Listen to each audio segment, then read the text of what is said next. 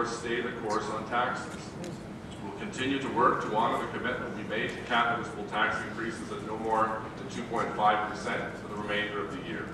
But we will do so while preserving and protecting the important public services that our residents deserve and expect. I'm proud to say that we will continue the spirit of listening and collaboration that marked the first 14 months of our mandate. I'd like to thank each member of council for your strong commitment to listening to one another, working together as a team, and making progress on the issues that matter most to the people of Ottawa. Because at the end of the day, that is what matters most. I want to conclude by introducing you to some special guests who are with us in the front row of the gallery. Each and every day, like you, I have the incredible opportunity to meet some remarkable people who help make our city the special place it is. Through their everyday gestures and generosity, they contribute to making our city truly exceptional. They do so without expectation of a reward, without great fanfare, and outside the glare of the media. Let me introduce you to some of those residents who I had the opportunity to come across in the last 12 months. I'd ask you to hold your applause until the end. Let me start with Raphaelle Ferland, a young woman who I met last November who shared her story with me about living without a home the ages of 15 to 18. Eventually, Raphael found support in the Youth Services Bureau, first by dropping in and then attending counseling sessions. Raphael found a home and in 2008 enrolled in a social work program at La Cité Collégiale, graduating second in her class. Today, Raphael is 22 years old and in her second year of civil law at the University of Ottawa, where she is also president the University of Ottawa chapter of Lawyers Without Borders. Facing adversity, homelessness, and numerous challenges, she found support from the community, and now, following her tremendous perseverance, she is giving back to her community. Thank you very much, Raphael.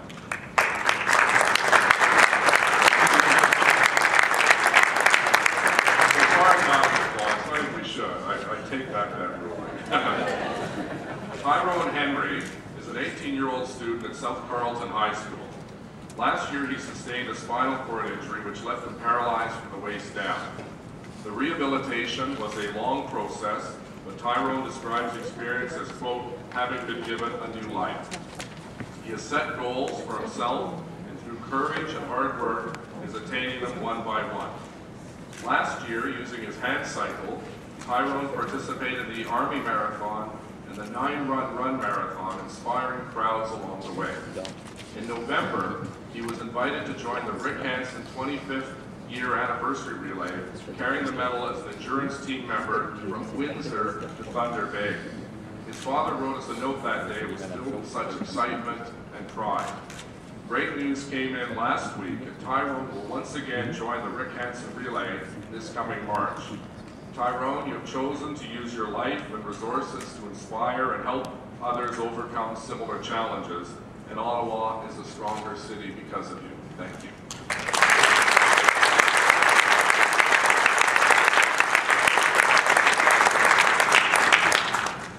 J'aimerais maintenant vous parler d'une bénévole exceptionnelle qui s'appelle Janine Legault.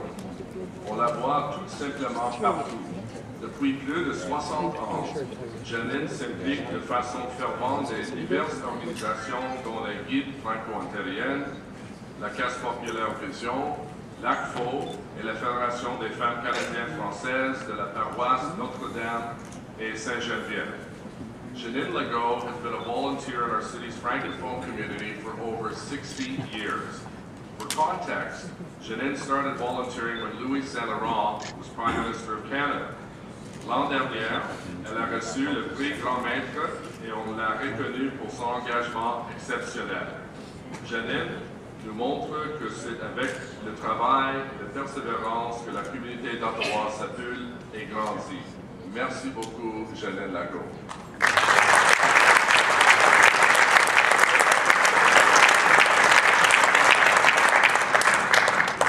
Tobias Lutke and Harley Finkelstein, and Harley is not able to be with us, are the young founders of Shopify, Ottawa's fastest growing private company for the past two years. Startup specializes in e-commerce and has mastered the art of creating and powering online stores. Last year, users of Shopify technology sold more than $250 million in merchandise online. Only in their sixth year, Shopify helps more than 16,000 retailers from over 80 countries worldwide. They expect to add 6 to 8,000 more stores this year alone. In 2010, Shopify was able to secure $7 million in venture capital funding, which was followed 10 months later by a $15 million Series B round funding. This is excellent. uh, The worldwide online community is keeping a close eye on Shopify's headquarters located in the vibrant market, which employs, I initially had 80 employees, and I'm told it's now up to 100 just in the last week. Several of them are recent grads from the Ottawa universities and colleges. Tobias and Harley are also engaging the startup community of Ottawa by hosting an event called Fresh Founders. It takes place at their Ottawa, at their Ottawa office and invites the top 100 Ottawa-based entrepreneurs to network and to share stories. Tobias, Harley, and the Shopify team are the exceptional entrepreneurs who demonstrate to the world that Canada's capital is a place of innovation and ingenuity, a place of perseverance, place where economic success can be realized. Ils sont des entrepreneurs exceptionnels qui font la preuve aux yeux du monde que la capitale d'Ottawa est un milieu d'innovation, est un milieu de persévérance, est un milieu où le succès économique est possible. Thank you very much for the jobs you're creating and the mentoring you are doing to young, uh, young companies and young individuals in our community, Tobias and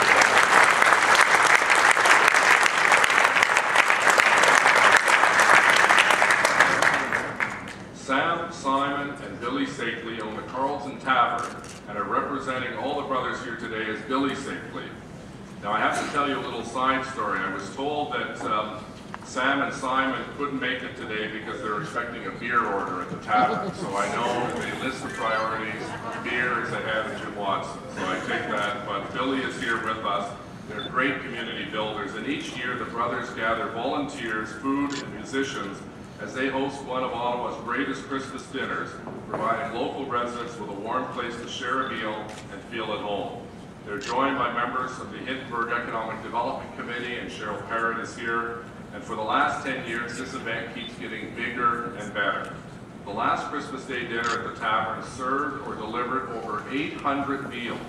That's over 30 turkeys, 6 hams, 60 meat pies, and an endless supply of coffee and refreshments.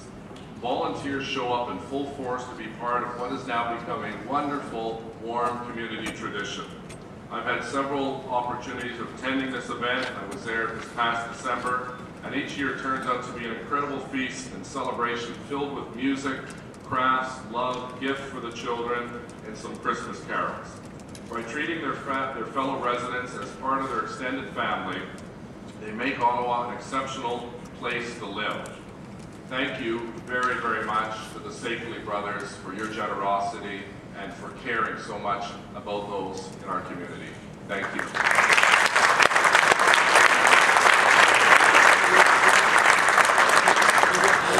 I've chosen to highlight these contributions of these exceptional Ottawans to remind us as a council and to remind the residents of Ottawa that our sole purpose here is to improve the quality life in our community for the people of Ottawa over the long term. J'ai choisi de souligner l'apport de citoyennes et citoyens exceptionnels pour nous rappeler tant que conseil municipal, pour rappeler aux résidents et résidentes de cette ville que notre unique raison d'être est d'améliorer à long terme la qualité de vie dans ce milieu pour l'ensemble de la population d'Ottawa. It's an inspiring reminder that community is about much more than places, budgets, and infrastructure. It's first and foremost about people. And I know that each member of council will come across similar wonderful stories in their own wards, and it's one of the reasons why we started the City Builder Award, to share the kind of uh, individuals that really make this city a special place. I'm deeply convinced that each member of council has worked hard in the last year to make Ottawa a better place for all its residents. I encourage you to leave no stone unturned and to spare no effort to make Ottawa an even greater city in the course of the coming year. Thank you all very much. Merci beaucoup.